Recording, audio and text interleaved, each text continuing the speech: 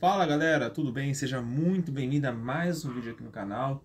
Hoje a gente vai dar continuidade ao nosso simulado, né? A questão 2 aqui, nosso simulado para o cargo de auxiliar de saúde bucal, tá? A gente aqui no decorrer dos próximos dias aí, dos próximos nas próximas semanas a gente vai colocar aqui uma playlist bem legal aqui, se você tem interesse nesse cargo aí, bem bacana, tá? Então, a gente vai deixar aqui né, na descrição a playlist para que você possa ter acesso desde a questão 1 de uma forma bem organizada para os seus estudos, tá? Porque, lembrando, estudar por questões aqui, para mim, né, a meu ver, é sempre um bom negócio, beleza? Então vamos lá, gente. Questão 2 da banca FADESP 2019.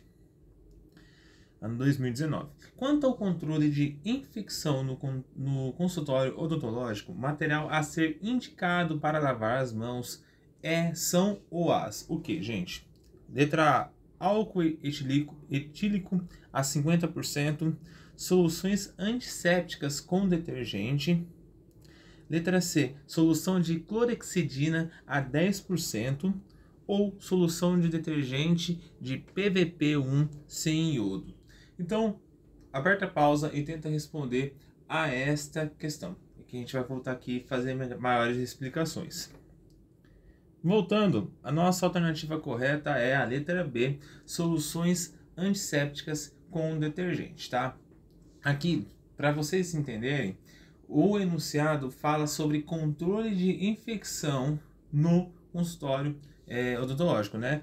De material. Então, aqui a gente tem que entender que quando o profissional e o, pessoal auxiliar, eles devem ser observados cuidados como lavagem de mãos com sabonete líquido, líquido com, de características antissépticas antes e após qualquer procedimento, secagem com as mãos com papel toalha, uso adequado de EPIs e luvas de descartados, descartáveis quando necessário. Então, todos esses procedimentos são é, necessários para que possa ser feito o controle da maior, é, melhor maneira possível, né, para que também não haja aí nenhuma disseminação de doenças, certo? Então, para você aí, futuro profissional, o controle aí com lavagem de antissépticos com detergente é muito importante, beleza? E com isso, além de ser bastante importante, também você vai conseguir acertar essa questão aqui que a gente acabou de responder, beleza?